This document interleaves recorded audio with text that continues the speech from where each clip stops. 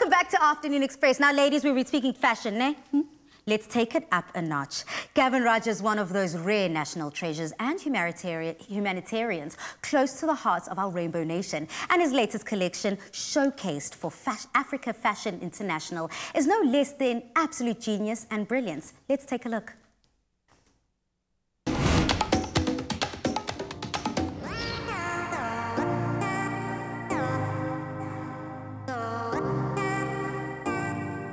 I think reset, reinvent, and reimagine is really about having taken the time to look back and reflect on what we've done, where we need to be, and what it's going to take for us to get to this future world of where we can be the best versions of ourselves. I think because I've had no formal training at all in fashion, I think the idea was that I was always this outsider looking into this very intriguing world. I hadn't learned any rules, so I was kind of breaking them all the time. I think one of the first things I did was learning how to work with a mannequin or a dummy. So it was really about draping fabric, putting fabric together. Till today, my studio calls me Edward Scissorhands because I'm very good at just cutting through things.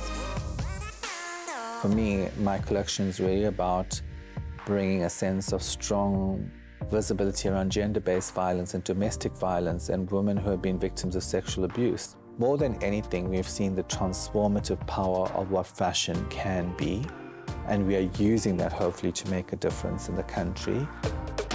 Do I really think it's, you know, we're saving the world in fashion? No, but I think that maybe we make the world a better place. I decided to create a collection which was really based on very beautiful, simple pieces with major attention to detail. I wanted to be representative of a new tribe of women who were strong, who were uncompromising in their femininity, but at the same time were in support of one another and were strong together.